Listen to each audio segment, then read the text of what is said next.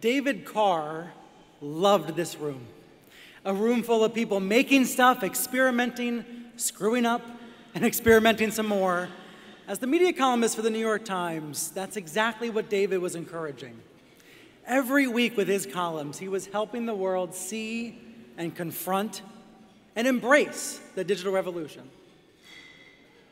And when he died in February, near his desk in the Times newsroom, I felt like we had all been suddenly blinded, like we could not see it anymore.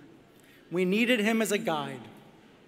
Uh, David is survived by his loves of his life his wife Jill, his daughters Erin, Maddie, and Megan.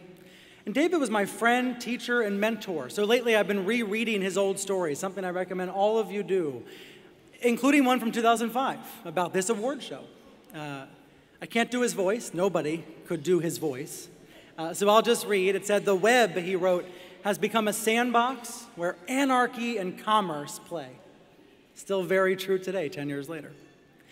David was webby before the web or these webbies were around. He was a natural born connector of people and ideas. He was incredibly generous with his time, always just an email away, and he was made for Twitter. His columns, his blog posts were long, but they wasted no words. He wrote bluntly and adventurously, and always fairly.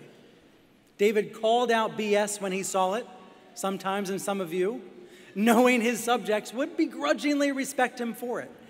He appreciated history and he treasured journalism's core values. But he was most excited by what's coming next. When we would talk about the next story, his eyes would light up. I could tell he really liked a story when he would lean into me and he would say, That's tangy. It's hard to even say it, but tangy.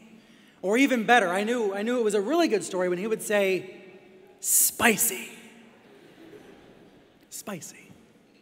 So tonight, I hope he can hear my five words David, thank you for the spice.